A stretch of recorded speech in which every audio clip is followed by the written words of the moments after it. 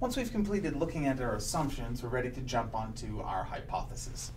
Uh, so when we do our hypotheses, uh, they're basically the same. We still have a null and alternative hypothesis. We're still trying to basically conclude our alternative hypothesis.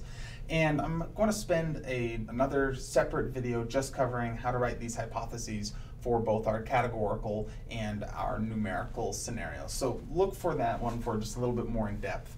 Uh, then the next that we've got is we establish our alpha value. Now alpha is exactly the same it still represents the percent of the time that we are going to be rejecting the null hypothesis when the null hypothesis is in fact true. Uh, so nice thing there is it's the same between one sample and two sample. Okay, next that we've got to do is we've got to figure out our testing method. And remember for our testing method, we've really got three different types. We've got one for dealing with categorical, So if we're dealing with categorical, we know that we're basically just doing a two sample um, test of our proportions, and so we just have one option. But if we're dealing with means, we've got one that is with equal variance,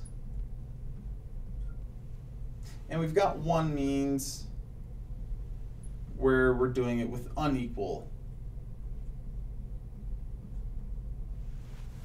And the reason why this is important is because of how we basically calculate essentially the effective standard error. Uh, there's a different methodology based upon if we can assume that the means have equal variance versus if they have unequal variance. Um, we could dive into the math behind it. I'll show you the equations later, but we're really going to let our software handle this. All we need to know is like, are they going to be equal variances or unequal variances? Here's how you do the check. So if we were to take this example from each of these, we know that Prairie, the, the sample that we took from Prairie and the sample that we took from Summit, there would be like, let's say Prairie, let me get another color.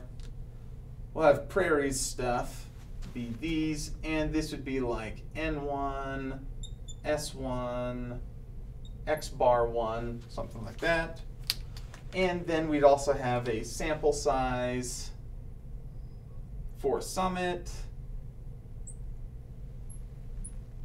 we could go and look at all of those descriptive statistics really easily. Have R Commander give them for these two groups. So if we want to, if we're comparing these two groups and we want to know do they have equal variances or not, here's the check that we want to do. So one of these standard deviations is going to be bigger than the other. Like the likelihood that they're going to be exactly equal from your samples is essentially zero. Um, so they're going to be different, but we want to know it's like are they close enough for us to be for us to consider them that they are equal. So here's what you do you take you take the sample standard deviation that is the biggest one and you divide it by the sample standard deviation that is the smallest.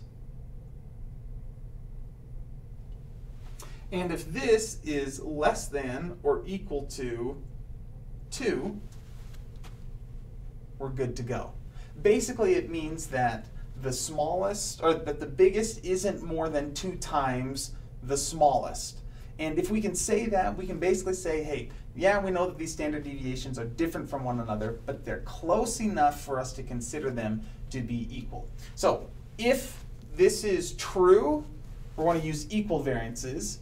If this is not true, or you know, if the if this guy is greater than uh, 2, then we use the unequal variance. And that, that's basically the only check that you have to do to figure out which testing method you use uh, for the means.